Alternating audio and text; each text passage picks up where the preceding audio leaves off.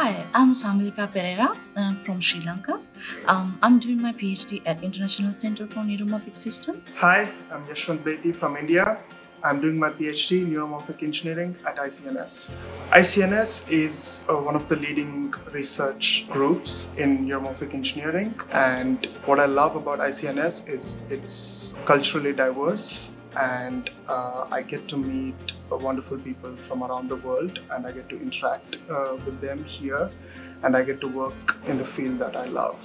I saw there are lots of uh, campuses in different different locations covering all western area. I chose Western Sydney because it is home to one of the leading research uh, facilities in the world and it is also home to one of the best cutting edge research labs.